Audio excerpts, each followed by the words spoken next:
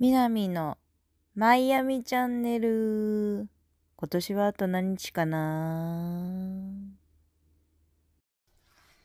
えー、今年も残すところあと315日となりました。みなみです。マイアミではありません。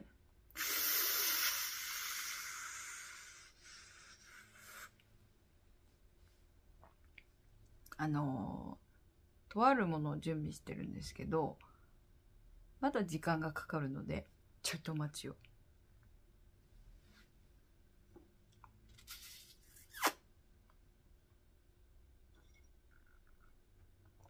今日はね、新月でしょ？私月オタクとかじゃないんだけど、今日はなんか、全体的にこう、トラブリングが多い気がする。トラブリング。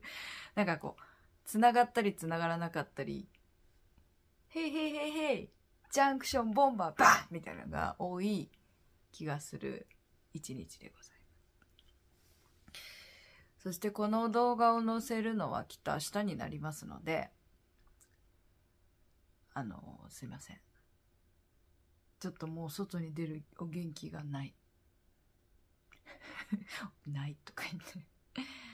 あの、というわけで今日はスペシャル。皆さん覚えてます？つー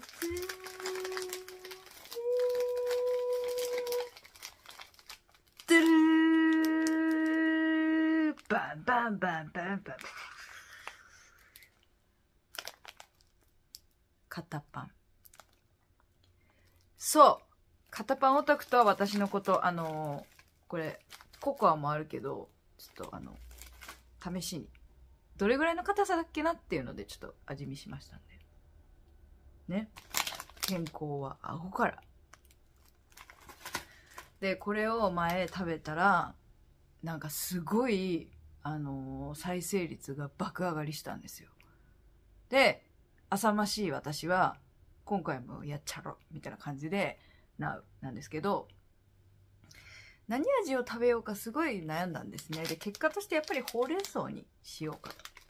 健康を考え開けちゃいましたよ。あ折れてない。うん、うん、これあのすげえ硬い瓦せんべいっていうイメージね。結構緑なんです。ちょっと今画面が加工してあるから微妙かも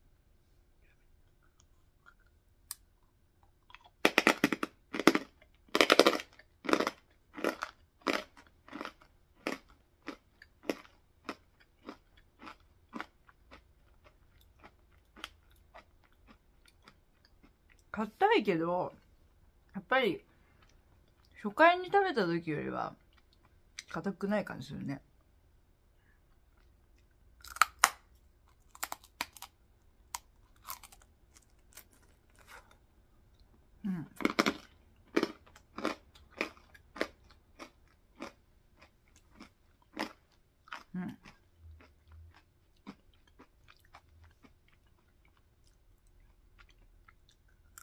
慣れたんですかね。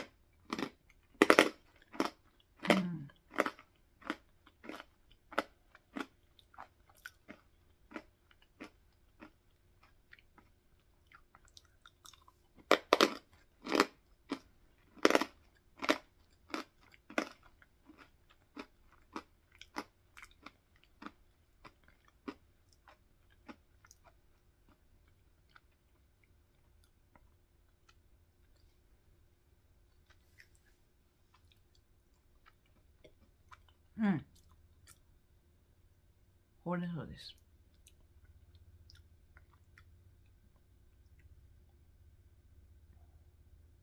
なんかこういうことを言うと誤解されそうだなって思うんですけど例えば病気になりました病気になると世界がそれだけになっちゃうんですよ割と。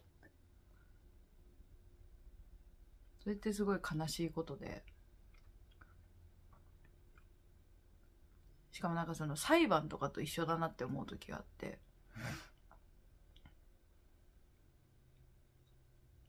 すごい疲れるんですね。なんかその。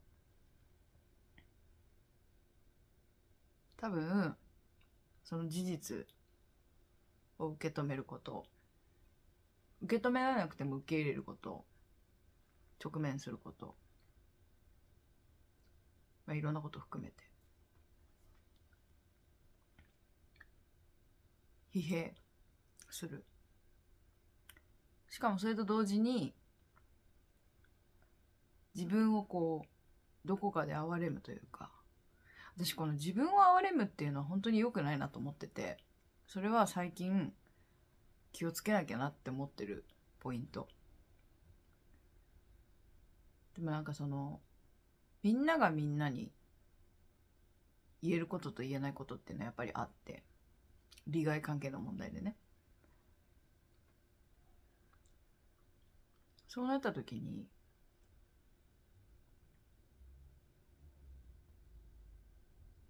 じゃあどうしようか。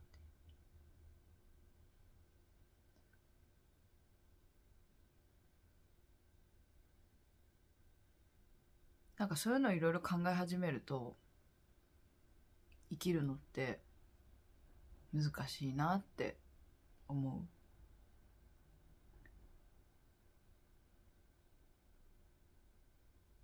ことが多くて。でもそれはなんかやっぱりここが私のまあ傍から見たら問題点なのかもしれないけどやっぱり私はその刷り込みがねあこれもさ誰かのせいみたいになっちゃうよね。まあ今日の話はちょっとこうめんどくさい話なのでスルッと聞いといてください。流しといてください。なんかその私はやっぱりカトリックの世界にずっといるから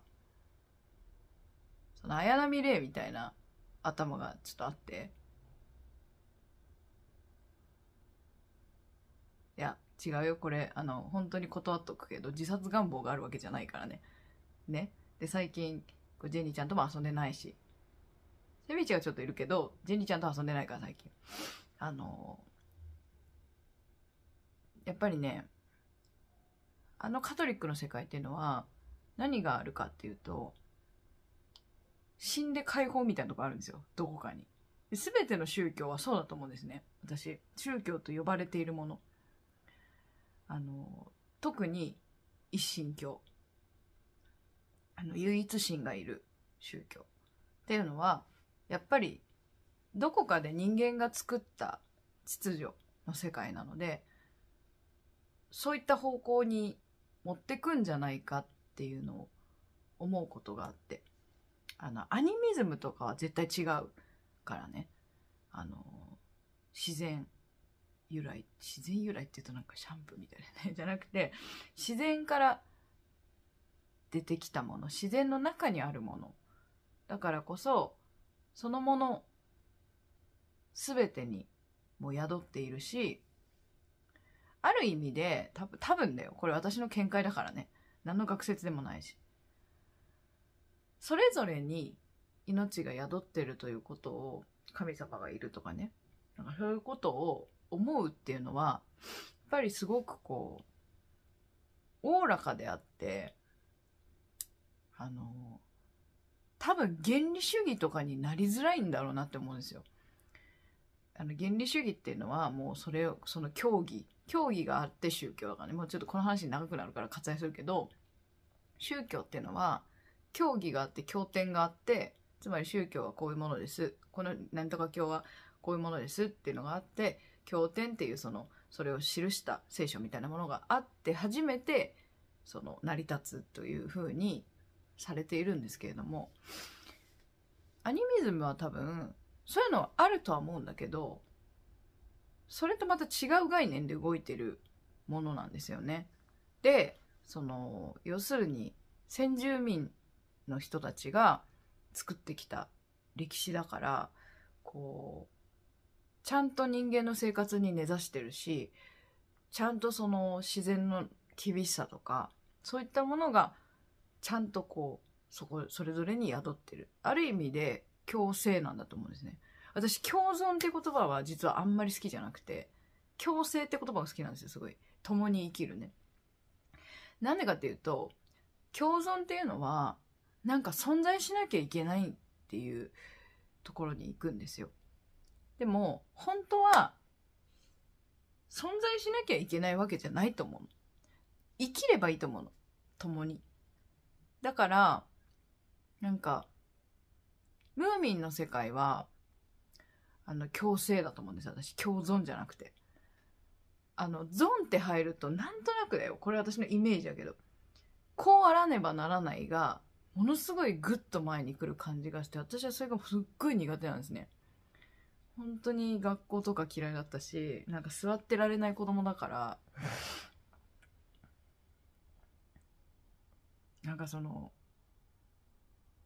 なんていうのかな私すごい研究したりとか好きなんですよ実は家が結構その学者が多い家とかだから弟も学者だしなんかそのしつこいから一つの興味あったことに対して永遠にこう突き詰める能力がすごいあると思うんですよ。頭がいいみたいな。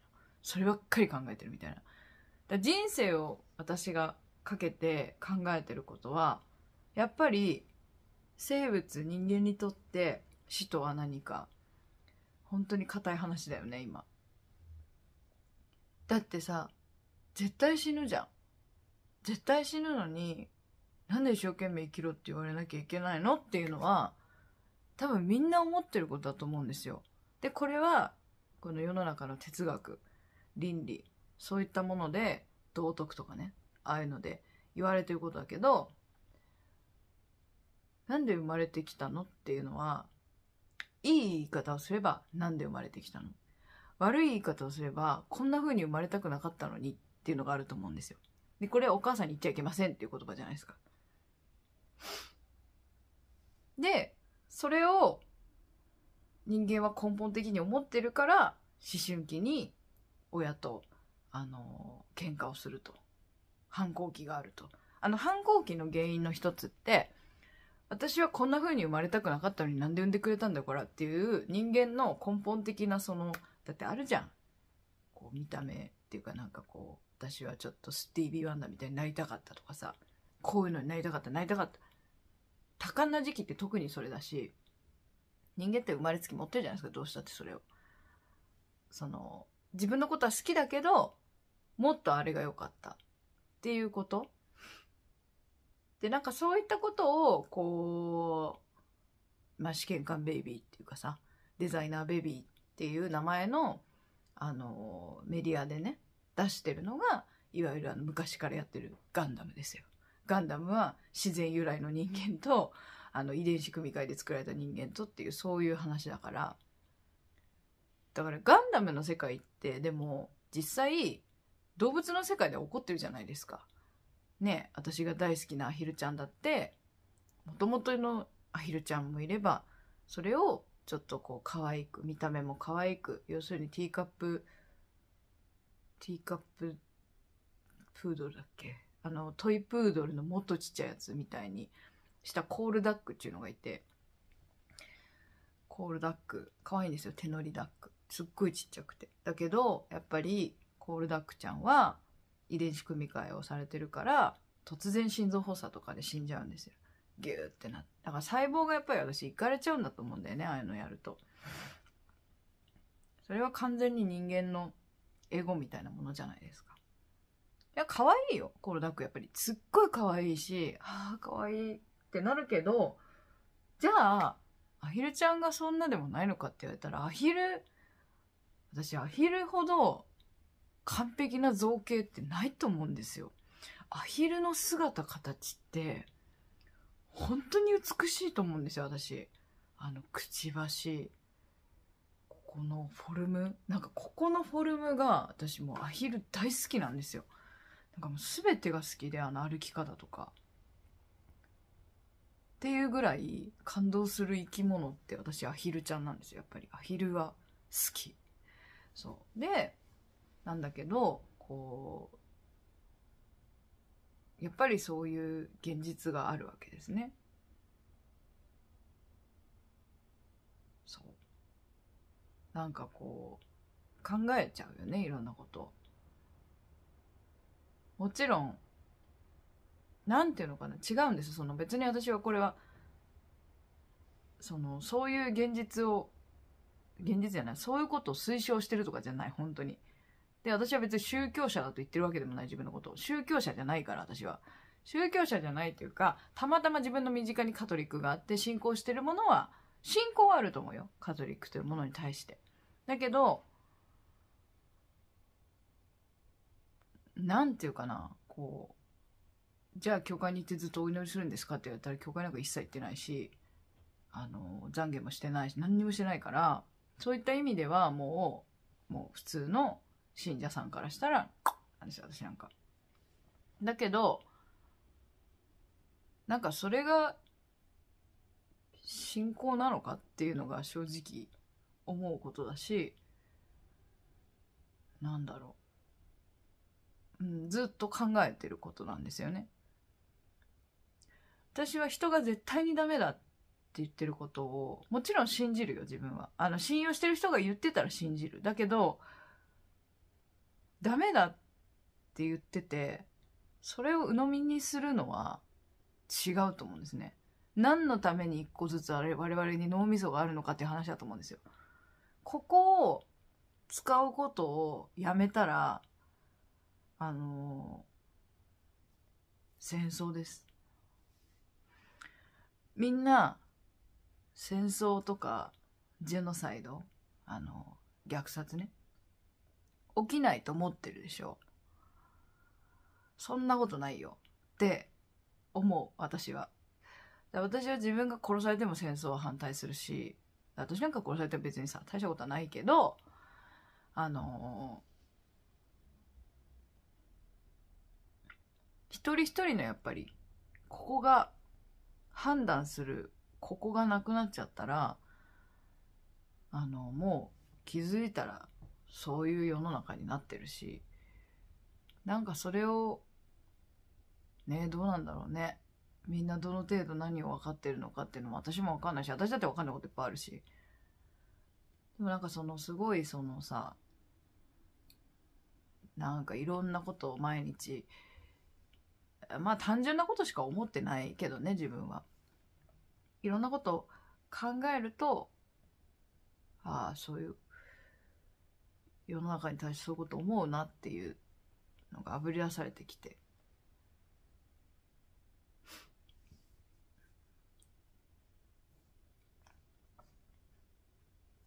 なんかそのね、この動画をやってる意味っていうのは、ないです、正直。意味はない。ただ、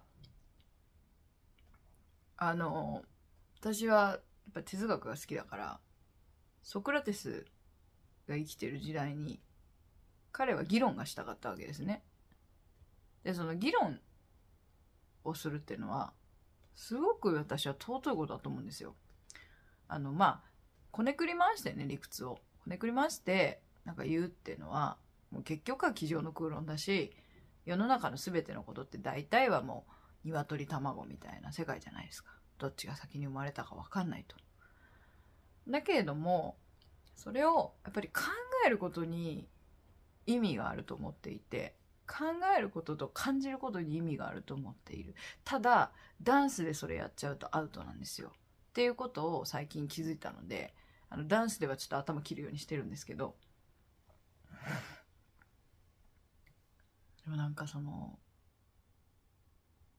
そういう議論をしたいみたいな気持ちがあって、もしかしたらやってるのかもしれない。で変わらずに同じことを定義し続けるっていうのはなかなかできそうでできないことなんですね実は私の友達とかはみんなやり続けてるからやっぱりはあの感動しかないけどなかなかに難しいんですよ。どっかで折れちゃったりとか言わなくなったりとか。もちろんそれもいいんだけれども言い続けなきゃね。っていうのはあって。もう家にいるから時間が無限だと思ってすげえ喋り続けてるけどちょっとそろそろやばいね。20分ぐらい喋ってもね、まあ、何が言いたいかっていうとまあそういうことなんですよ。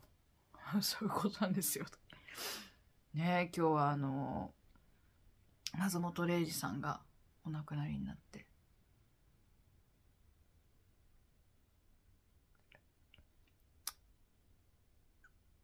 みんな旅立っていっちゃうね。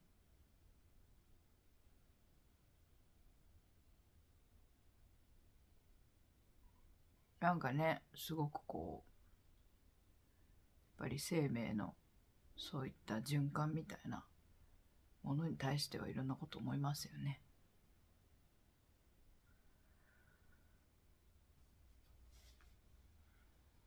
というわけで長くなりましたが言いたいことは何だったのかもちょっとよくわかんなくなっちゃったんですけどまあとりあえず終わったのでああと今週またダンスショーあるんでよかったら来てください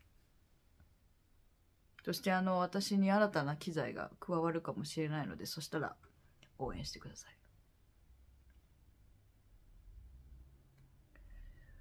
いろんなものを買いすぎてお金がなくなってきた。というわけで皆さん。またね